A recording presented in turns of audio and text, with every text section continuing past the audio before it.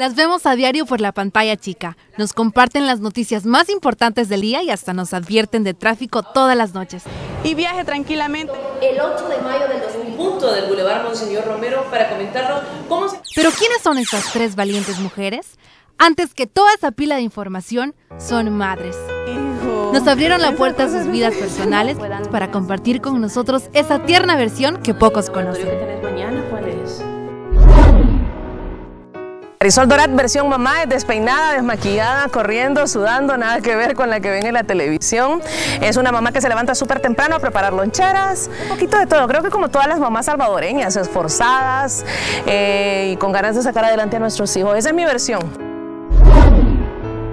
La parte favorita es que los 10 de mayo me vienen tres regalos, pero la verdad que la paso chivísimo. Todos los momentos con ellos son, son aventuras y son favoritos, definitivamente. Son, las tres, son mis tres personas favoritas.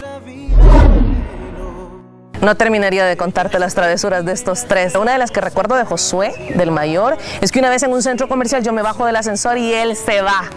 Entonces yo aquella gritazón de que el muchachito se me iba y en lo que yo voy subiendo las gradas, él se baja en el ascensor y me tenía en aquel centro comercial como que si era loca. Nancy Barahona. Me gusta ser juguetona con mi niña, me gusta enseñarle, ella eh, apenas tiene un añito, o sea, estoy comenzando en esta, en esta etapa de ser mamá. Fue una sorpresa, pero me llenó de mucha felicidad.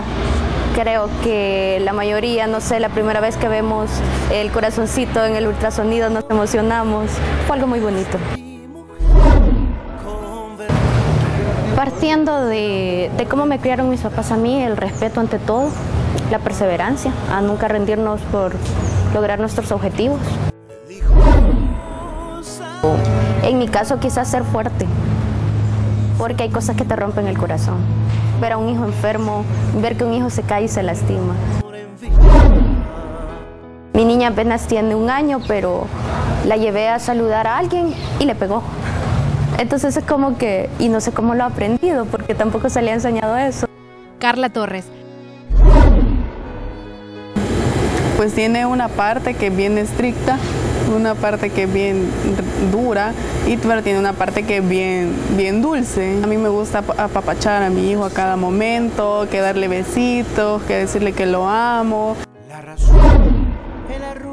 Pues cuando yo me di cuenta que iba a ser mamá, tenía 21 años, estaba en la universidad, no lo creía. Al principio no lo creía, yo estaba cerrada, no, no puede ser, no puede ser, voy a tercer año de la U, no puede ser, ¿qué va a pasar conmigo? ¿Qué va a pasar con mis estudios? Gracias a Dios todo salió bien, el apoyo siempre de la familia es fundamental para que uno pueda alcanzar sus metas, alcanzar sus sueños. Cambia rotundamente, es un cambio de 360.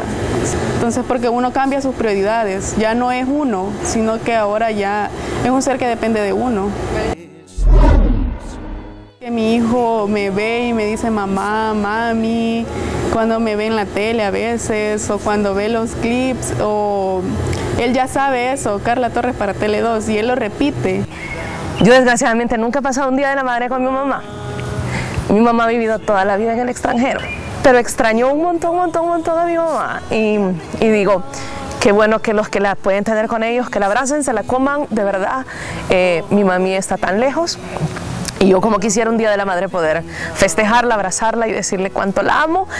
A ellas y a todas esas heroínas que tuvieron ese privilegio de dar vida, Tele2 les desea un feliz Día de las Madres.